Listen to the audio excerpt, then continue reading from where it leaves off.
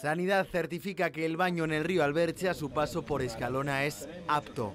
Todos, repito, los informes, uno detrás de otro, el último de hace un par de días, confirma que el agua del río Alberche a su paso por Escalona es apta para el baño, tiene unas condiciones excelentes de salubridad y tiene unas condiciones excelentes para el baño.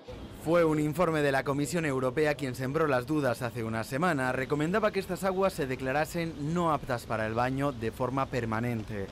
El alcalde ya ha pedido al comisario de Medio Ambiente que rectifique y que no se siga haciendo daño a un pueblo, dice, que vive del turismo. Le requiero para que corrija ese informe, para que diga un informe o en su informe diga lo que es verdad, que el agua es apta para el baño. Incluso le invito a que venga a, Escalona a conocer de primera mano el agua, a que conozca de primera mano el río.